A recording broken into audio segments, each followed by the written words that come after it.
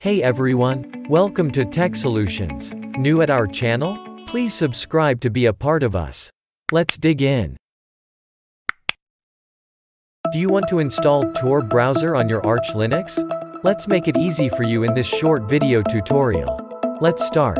Open Terminal on your Arch Linux.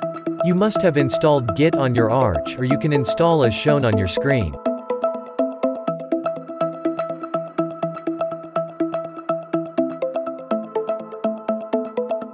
As next step we need to do git clone from Arch AUR repository. Use the command git clone and the git address to clone Tor browser on your Arch.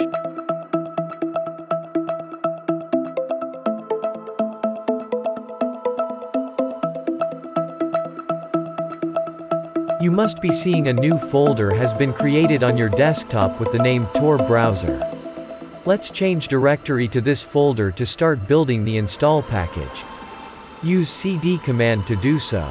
Now being in this directory execute make package command to start compiling and building Tor browser install package.